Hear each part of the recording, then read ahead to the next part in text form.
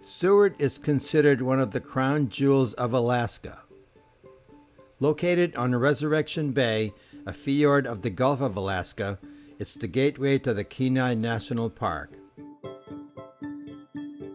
The city is named after former Secretary of State William H. Seward, who orchestrated the United States purchase of Alaska from the Russian Empire in 1867. Seward is the historical starting point of the Iditarod Trail.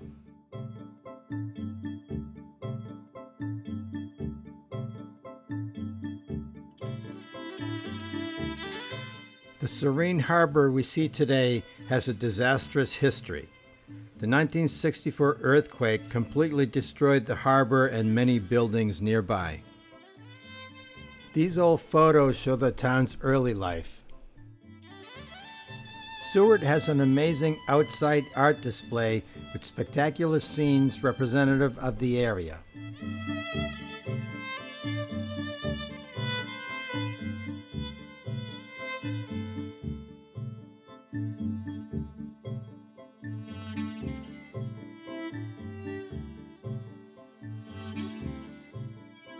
The Alaska earthquake of March 27, 1964 began at 6:36 p.m.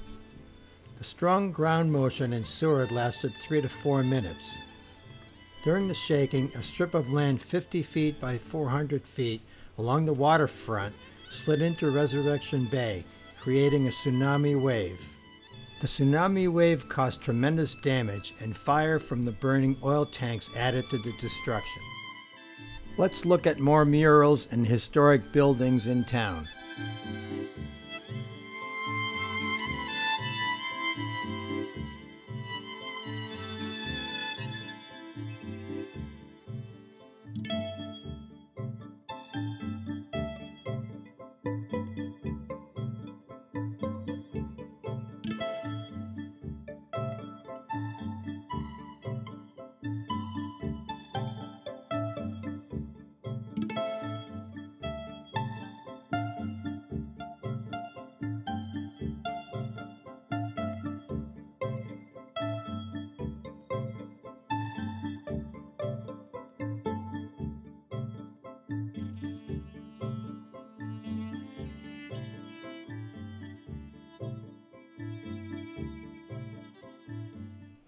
On day five, we start the day with a visit to Exit Glacier, just 12 miles from Seward.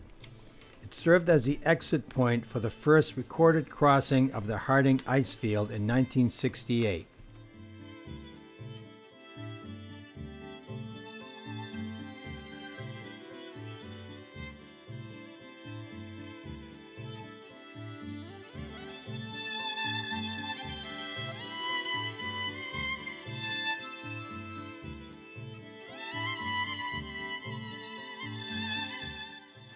How, co- how cold is it?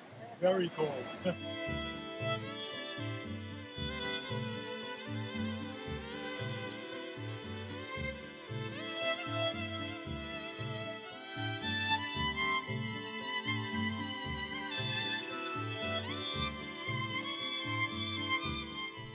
The Harding ice field is a remnant of the great ice sheet that covered this part of Alaska 10,000 years ago. Still at work feeding nearly 40 glaciers that spill down in all directions.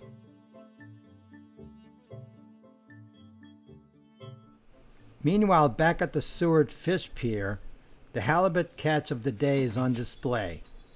Here we see a large halibut being weighed.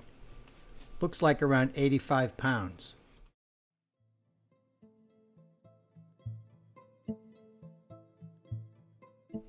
In the afternoon, we board a modern catamaran vessel for a smooth ride to Aialik Bay and the Aialik Glacier.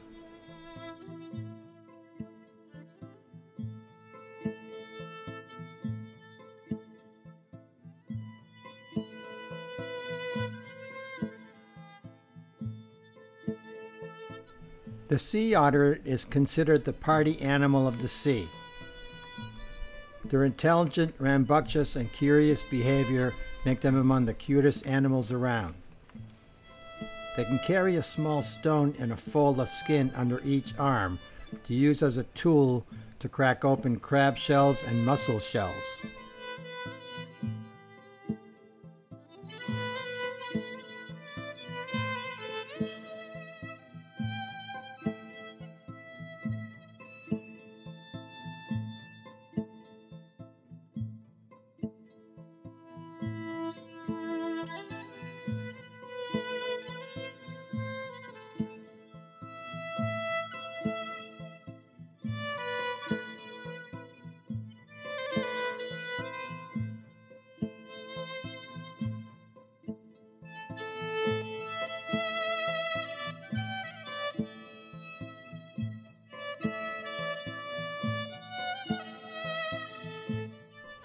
As we sail out of Resurrection Bay, Bear Glacier comes into view.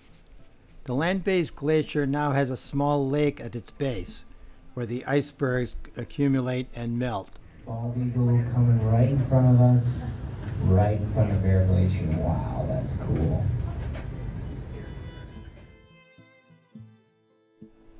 The entrance to Aialik Bay is a maze of spectacular glacier-carved rock formations.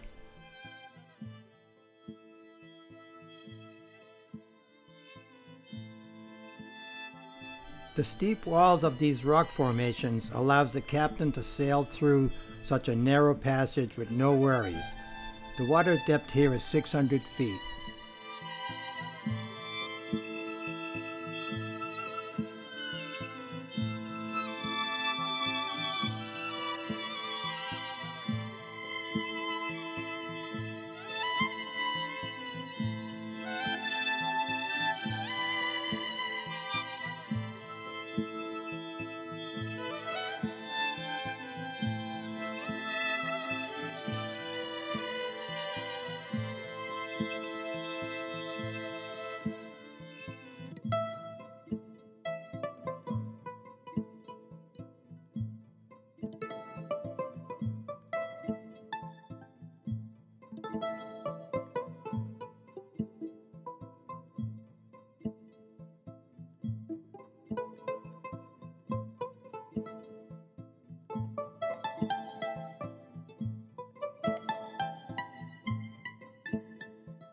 Puffins spend most of their lives at sea, but between May and September they can be seen in rookeries along the rocky coast.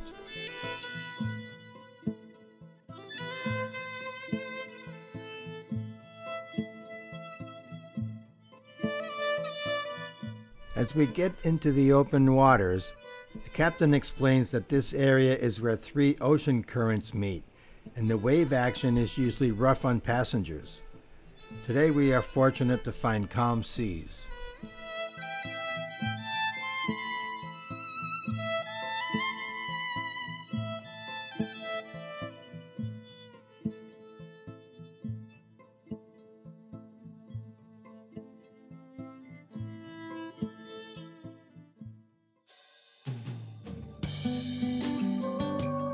Dall sheep can be found clinging to the sides of impossibly steep cliffs. Their specially shaped hooves allow them to go where predators can't go.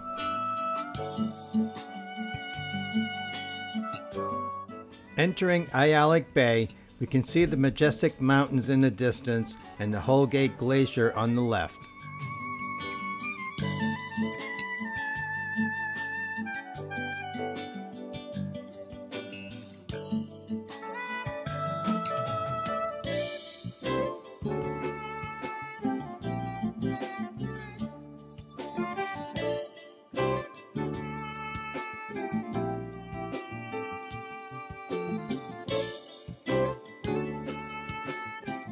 Only 15 miles from Seward, the Aialik Glacier is the largest glacier in Aialik Bay.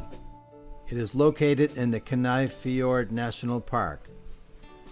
One and a half miles wide and three and a half miles long, this impressive glacier's front wall is hundreds of feet high.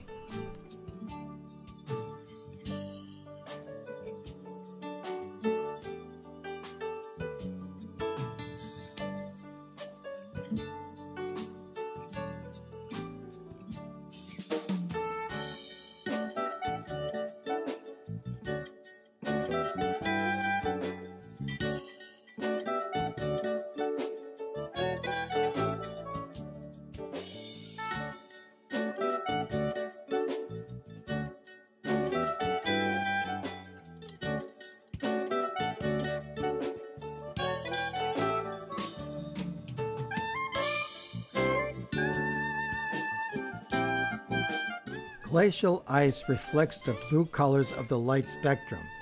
The longer the path light travels in the ice, the bluer it appears. As we get closer to the glacier's front wall, we can see hundreds of Steller sea lions resting on the ice floes created by the glacier.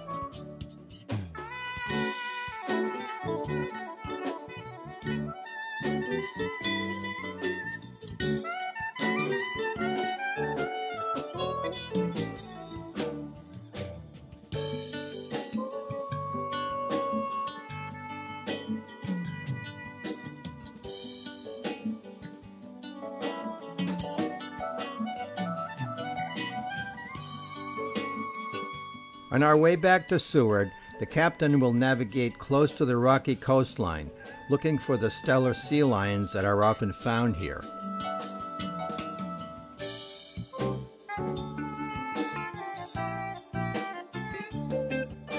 The Steller sea lion is the largest of the eared seals.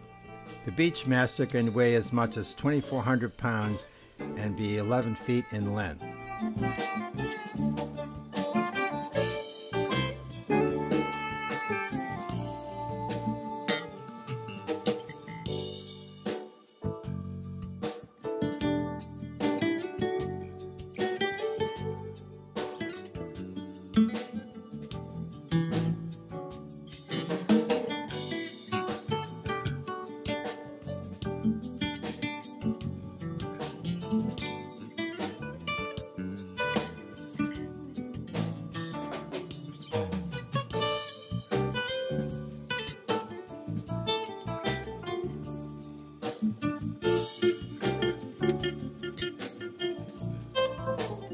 A glacier is a moving river of ice.